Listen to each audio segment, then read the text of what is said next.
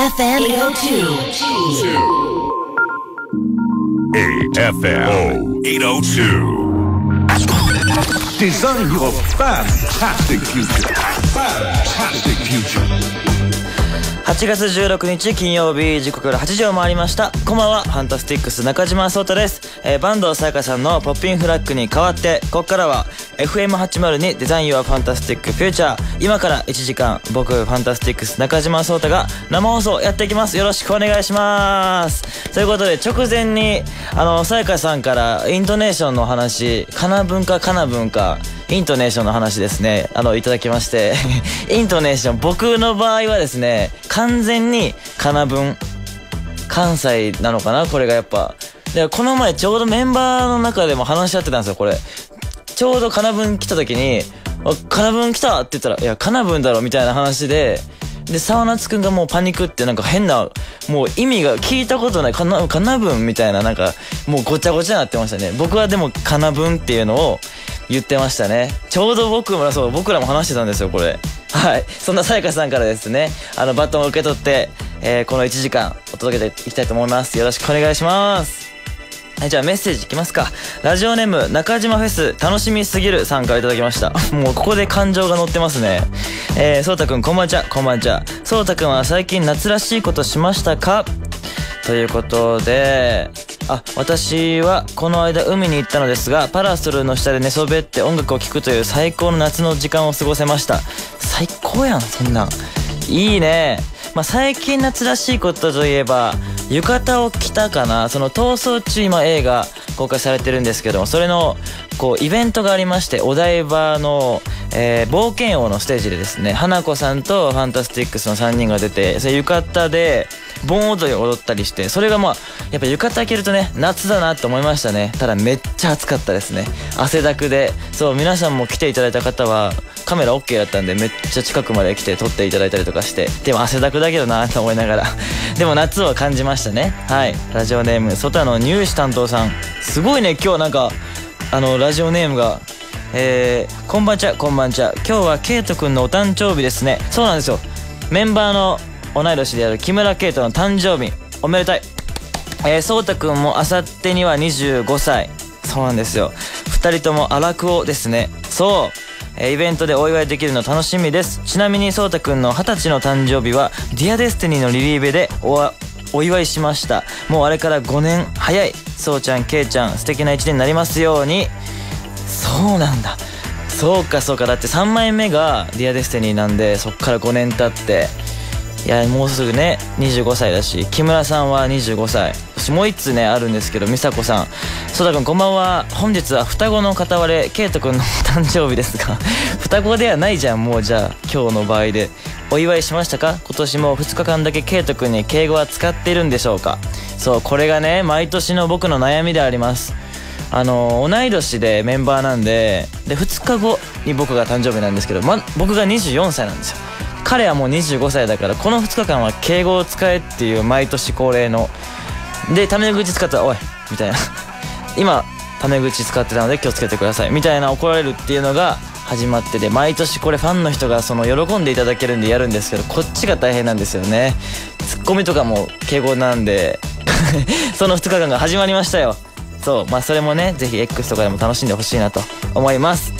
はい、今夜も僕への質問だったり今週の気分がジャンプアップした出来事報告いただければ、えー、それらを共有してみんなで気分上げていきたいです。皆さん待っております。受付は FM802 ホームページにあるリクエストプレゼントのバナーをクリック、えー、そして今夜はですね私の中自慢っていうこう皆さんと電話をつないで自慢を聞くっていうのはお休みしてですね久しぶりにあのファンタスティックチョイスをやりたいと思います。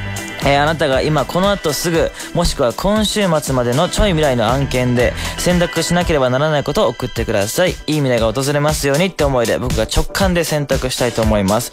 受付は FM802 ホームページにあるリクエストプレゼントのバナーをクリック。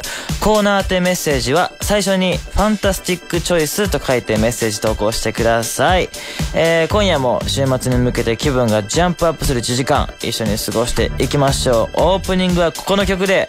もうテンションをぶちにぶち上げたいと思います。ジュニアエグザルで24カラッツタイプジュニア EX。802. Funky 802. Design your fantastic future. FM802 デザイン Your Fantastic Future DJ ファンタスティックス中島聡太が生放送でお送りしています。えー今日からデザイン Your Fantastic Future のスピンオフ番組が、えー JR 東海道新幹線の車内で聞くことができます。えーこちらはですね、えー僕の新幹線の旅のお供アイテムについてお話ししたり、えー僕がこの番組の選曲を、選曲をしながら、え新幹線に乗って、こう、東京から大阪に移動している時、車窓から見える気になる景色のお話だったりとか、あとはですね、まあ、ファンタスティックスのメンバーが、まあ、新幹線移動する時に、こんなことよくやってるなとか、この人これがあるあるなんですよ、みたいな、ここでしか聞けないような、えートークをやっていまして、えー新幹線で移動中のあなたに向けたトーク内容になっております。えー新幹線で移動するというあなた、JR 東海押し旅公式サイトにアクセスしてください。えー移動中お耳のお供として、えーぜひ聞いてください。もう本当にここでしか聞けない特別な番組になっております。えそして、ハッシュタグ、押し旅で、えーぜひ感想、プラス、あなたの旅のお供アイテムとか、えー車窓から見える気になる景色、ここどうですか？綺麗ですよね？みたいなのをつぶやいて、たくさん盛り上げていただけると嬉しいです。まあ、今後、その更新される回で紹介していければと思っております。えーハッシュタグ、押し旅について詳しくは、デザイン Your Fantastic Future 番組ホームページに情報アップしていきますので、そちらをご覧ください。ぜひ一緒に盛り上がっていきましょう。お願いします。えーそんな僕からですね、皆さんに、まあ、この夏、旅のお供というか、まあ、夏、まだまだテンションを上げて、この曲に勇気づけられましょうよっていう曲を持ってきました。それでは、聴いてください。ノブで、今、太陽に向かって咲く花。FM802 デザイン Your Fantastic Future あさって8月18日日曜日は大阪市中央公会堂通称中之島公会堂でこの番組初のイベント FM802 デザイン Your Fantastic Future 中島フェス開催でございます。よっもうあと2日ですよ。あれあさってか。やばい、もう始まりますよ。えー地元大阪でリスナーの皆さんと一緒に2024年最高の思い出作れればと思っております。なので、あのですね、実は皆さん、今ラジオを聞いてくださってる方、もう、あのー DYFF の公式ホームページに、グッズ一覧が、あのー出てます。詳細が。ちょっとね、よかったら、まあ、見れる方は、ぜひ、飛んでほしいんですけども、可愛くないですか？どうです？どうです？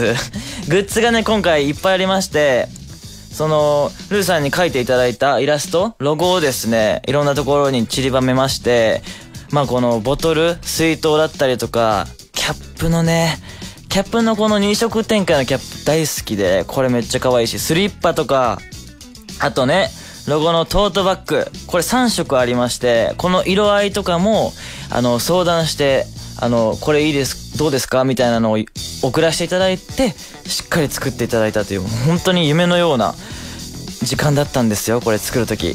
なんか、これどうします？作ります？とかの話し合い、本当に楽しかった。そして、あの、まあ、中島らしいのも一個欲しいということで、ポジティブ一言、なんかウォーターメモって言って、水に浸したらこう、ファーンってポジティブな言葉が出てくるようなのもありますんで、ぜひね、一覧見てほしいなと思います。まあ、当日は13時に会場がオープンします。えーチケットをお持ちでない方も、グッズ購入だったりとか、あとね、この番組ゲストになりきれるフォトパネルなどを作りましたんで、えーそちらも楽しんでいただけると。そして、また中央公会堂の、あの、外にもフードが出ていたり、82ワナビーズ80の学生サークルの方々が、キックターゲットなどいろんな催しもあります。まあ、ストステージエリアのオープンは15時。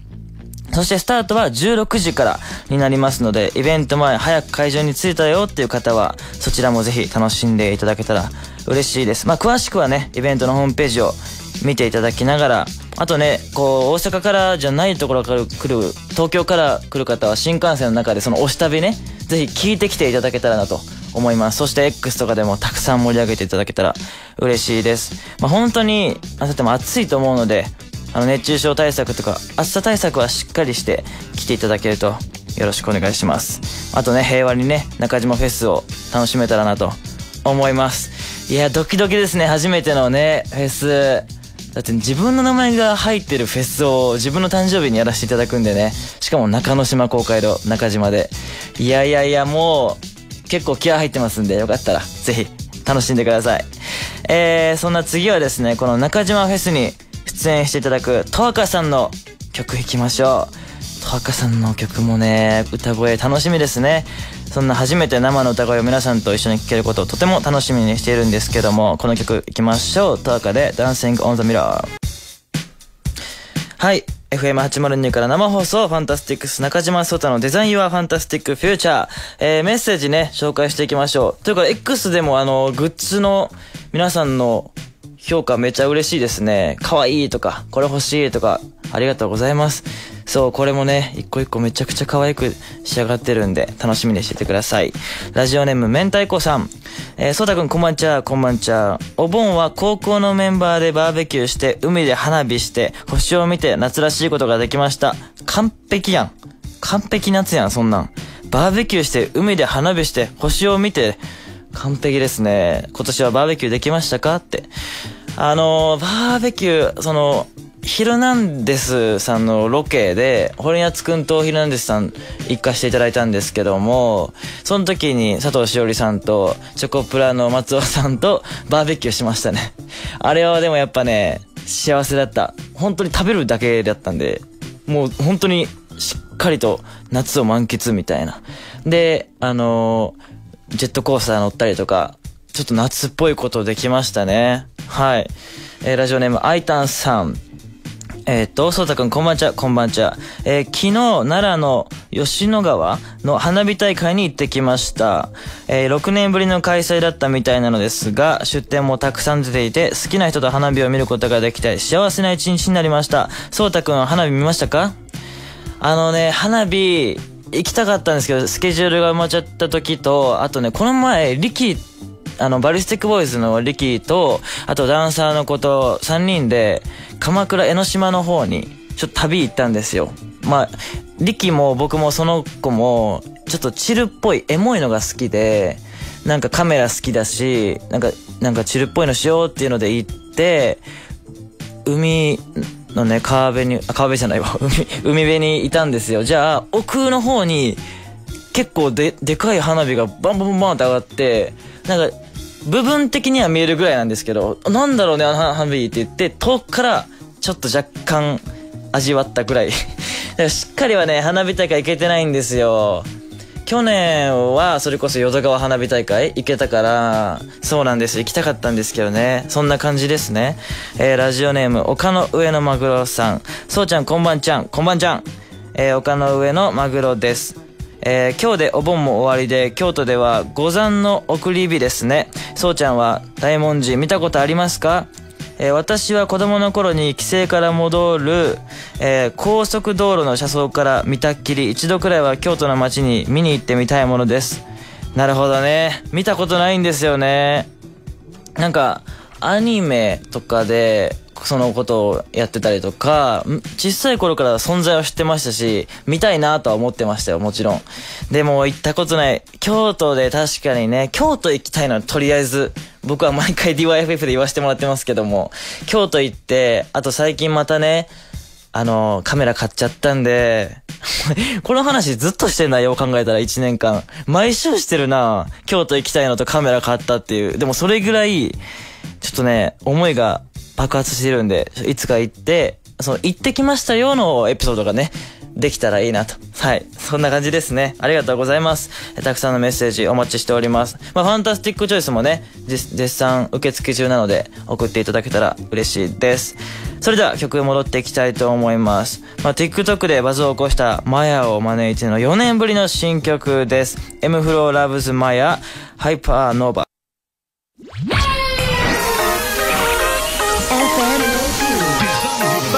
fantastic future.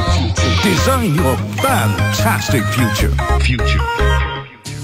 FM802 から生放送 Design Your Fantastic Future DJ は FANTASTICS 中島颯太です、えー、番組後半 Fantastic Choice いきましょうあなたがこの後すぐもしくは今週末までのちょい未来の案件で選択しなければならないことにいい未来が訪れますようにって思いで僕が直感で選択するコーナーでございますいっぱい来てるんですよ。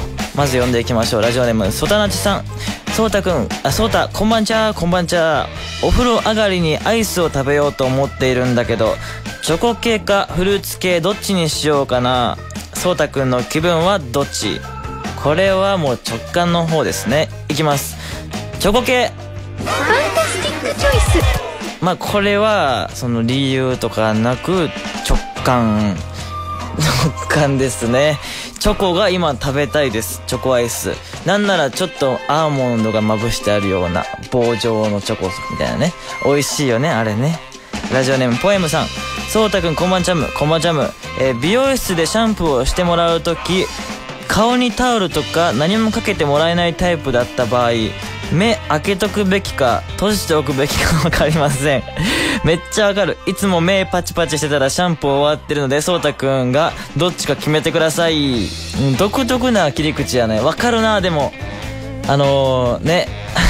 目めっちゃ開けてても気まずいし目閉じてもなんかな何考えてんねやろこの人っても思われるし。でも顔に何もつけてないからね。どっちやろな僕。うーん。目閉じる。ファンタスティックチョイス。これは、まあ、目パチパチよりはもうなんか私はもう寝るぐらいの勢いでリラックスしてますよみたいな感じでゆっくり目つぶっとくんがいいんじゃないですかね。こんな感じでポエムさんいいでしょうか。ラジオネームウルトラソータさん。おちょっといいねこれ。ウルトラソータいいね。なんか初めて言われた。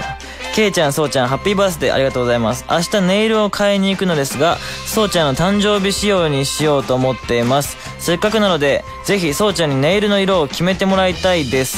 1、肌なじみ、お肌なじみのいいピンクやベージュ。2、水色やブルー、グレー。3、白。選択肢がちょっと多いですね。おとお友達とお揃いのデザインにして一緒にそうちゃんの誕生日をお祝いします。うーん、これはなんだろうな。どうしようかな。直感でじゃあ、あー、はい。えー、1番の肌なじみのいいピンクやベージュ。ファンタスティックチョイスなんか書き方がさ、1番がよ、良いみたいな書き方してない？その肌なじみが良いみたいな。これを選んでよみたいなぐらいのテンションで。でもピンクやベージュ可愛いんじゃないですか？ワンポイントでそこにね、ピンクが入ってたら。ラジオネームぷんこさん。こんばんチャッカマン。ぼ。いいですね。毎週楽しく聞かせてもらっています。えー家で育てているさつまいもがいっぱい取れたので、スイートポテトかさつまいもの蒸しパンを作ろうと思ってます。どっちがいいか決めてください。すごいね。どっちもすごいね。いいね。あー、スイートポテト。 Fantastic Choice これね結構うちでもやってたんですよ中島家うんそうあのーワンちゃん飼ってるんですけどワンちゃんにはそのさつまいもまんまだから味付けとかバターとかなしでさつまいもをギュッてしたのをケーキにしたりしてなんかスイートポテト的な感じで揚げてたし僕らは逆に甘くてしっかりとスイートポテトを作って食べてました。だからね今いいなと思った。聞いてて。だからスイートポテトいかがでしょうか？そんな感じですかね。でこのコーナーの締めにお送りする曲は「フューチャーをキーワードにセレクトしたんです。あそうだそうだ。あとねなんかこの中島フェスもあるんですけどこの「デザインはファンタスティックフューチャー」でやってる。Fantastic Choice のこのコーナーもできたらななんか。思っております。なんかこのラジオっぽいフェスなんだけどもラジオっぽいのエッセンスも入れたいしみんなと一緒に盛り上がれるの結構 Fantastic Choice いいんじゃないかなと思っているんでちょっと皆さんもどうなるかわかんないですけども当日楽しみに来ていただけると嬉しいです。お願いします。まあそんなこのコーナーの締めにお送りする曲は「フューチャー未来をキーワードにセレクト」まあ間もなくやってくる夏の終わりをテーマにセレクトしたんですけどもこの曲ね選んで、あ、いいかもと思った時に久々に聞いたらテンション上がりましたね。でも皆さん結構知ってるんじゃないかなと思います。生き物係で気まぐれロマンティック。お送りしたのはイリさんの新曲スワンプでした。かっこいいですね、曲。そしてね、ファンタスティックチョイス当てなんですけども、こんなお便り届きました。ラジオネームゆいさん。そうたくん、こんばんわんこそばはうまいぞ。ありがとうございます。ここに力を使っていただきまして。今日は、そうたくんに決めてもらいたいことがあって、このチョイスを送りました。かっこ、自分ではもうどうしていいかわからないので。どうした？え先週の土曜日、地元の花火大会があって、その花火大会に Y 君と一緒に行ったんですけど、そこで告白されて、私は Y 君といて、すごく楽しかったし、また会いたいって思うけど、恋愛感情で見たことなくて、てんてんてん。で、その次の日くらいに、同じ職場の同い年の男の人から、お祭りのお誘いが来てて、別に悪いことしてるわけじゃないのに、謎に複雑な気持ちになってしまって、自分ではどうしていいかわからなかったので、そうたくんに相談という名のファンタスティックチョイスで決めてもらおうと思って送りました。えー、1、私のことはめちゃくちゃ大好きでいてくれて、愛し続けてくれる私の2歳年上の男の人、かっこ遠距離、そうたくんと同い年の人です。ほう。おは、同い年の職場の男友達、かっこめっちゃふっかるすぎる友達、そうたくんだったらどっちを選びますか？選べないよ選べないけども、いや、これすごいね、モテてるというのか、その、お互いにね、思いを伝えてくれてる方がいるっていうので、素敵だなって思いますけど、これは、なんだろうな、ファンタスティックチョイスまではできないですけども、その自分が、結局ね、こう時間かけて選んだ方を、いや、こっちじゃなくてあの人だったなって思わないでほしいなと。その失敗とか成功とかじゃなくて、なんかその、こっちじゃなかったなって思わないように。なんかその経験が生きてくるし、あとね、なんか、なんかこれでも正解はないですからね。特に。なんか恋の話ですからね。素敵なお便りですけども。だからちょっとごめんなさい。唯一今回ばかりは選べないですね。もう本当に思いのまま進んでいただけたらと思います。ゆいさん、いいですね。夏してますね。はい。えー、ラジオネーム、葵さん、そうたくん、こんばんはすごい。今、教習所帰りにラジオを聞いてます。ありがとう、お疲れ。えー、まだ通い始めて2回目の車の運転むずすぎます。そうたくんも免許取るの苦労しましたか？意外とスラスラーと取ってそう。まあね、まあスラスラとは言ったんですけども、あの、結構難しかったですよ。僕マニュアルで取ってたんで、あの、ハンクラ？ハンクラッチがね、絶妙にむず、でも楽しかったんだよ。あと坂道発進。一回止めて、ガッてやって、その、ブレーキをどんどん緩めて、あの、アクセルにするみたいなね、やっぱね、難しかったよ。で、あと試験もあるしね、こう、絶妙に言い方によって違うみたいな。こう、雨の日も気をつけないといけないけど、晴れの日も気をつけないといけないとか、丸抜クイズ。あれね、難しいのよ。だから勉強も大変だし、やっぱ何よりでも本当に命にかかることなんでね。あのー教習所だから大丈夫だからとかじゃなくて、教習所でも命に関わると思うんで、あの、まだ免許持ってなくても集中してゆっくり安全第一で、あの、頑張って取ってほしいなと思います。取った先にはね、素敵な場所に行ったりとか、素敵なことだらけなので、まあ、取って安心してもまだ、こう気をつけながら運転してほしいなと思いますけどね。まあ、でも、その、さっきのね、ゆいさんの恋の、恋にもアクセルを踏んであげてください、葵さん。全然うまくなかった。なんか、なんか頑張ろうとしたけど全然うまくなかった。ハンクラッチじゃなく、えーアクセルを、葵さんの思いで、ゆいさんの、えー恋の、えーブレーキを踏まずに、えー無理やわ。全然無理でしたわ。難かったです。なんかうまいのをじゃあ X で皆さんお願いします。ちょっと殺意か。まあそんな皆さんメッセージありがとうございます。えー続いての曲はですね、まあこの曲ね、もうこのアーティストの方がず昔から好きだし、あの、レコードも持ってるんですけども、この楽曲ぜひ聴いてください。ライブでポテンシャル。夏の終わりにかけてかけた歌曲はですね、花ホープでサマータイムブルースでした。いやーこれね、シティポップの感じとアンビエントのちょうどいい空間で、このかっこいいんですけども、なんと、まだ17歳なんですよね。天才ですね。本当にね、素敵な楽曲でした。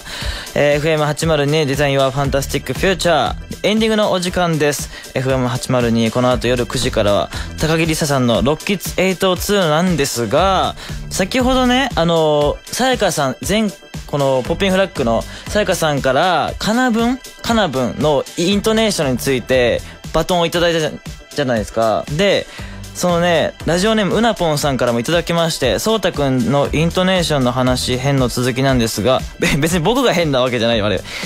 関西弁か関東弁かって話ね。今、そうたくんのさつまいものイントネーション、私の言い方と違います。関西と関東で違うのかなってきまして、僕なんて言ってました？さつまいもさつまいも。だから関東弁がさつまいも。で、僕が、さ、さ、さつまい、さつまいも。さつまいもが関西弁か。さつまいもが関東弁。ちょっとこれをリサさんがどっちなのかを、どっちなのかをじゃあ次の オープニングでぜひ。うちはね、さやかさん、さやかさんからはいただいたのはかなぶん。で、僕もかなぶんですって言って、次はじゃあさつまいもでバトンタッチしたいなと思います。はい。ということで、中島聡太とは来週金曜日、またここでお会いしたいんですが、あさってね、中島フェスありますんで、もう本当に初めてのイベント、フェス、まあ、お祭りのような形で楽しんでいきたいなと思うので、ぜひ皆さんも、暑い中なので、熱中症対策だったりとか、え体調管理気をつけて、水もね、いっぱい飲みながら来てほしいなと思います。そして、明日はですね、土曜は何するに生出演させていただくので、朝から、もしよかったら、え見ていただけると、あの、中島が映っております。えー土曜は何するもぜひ見てください。ということで、今週もたくさんのメッセージ、そして X でも盛り上げありがとうございました。ファンファンジャーニーもぜひチェックしてください。ということで、ありがとうございました。バイチャーバイチャーバイチャーバイチャー 4, 4回。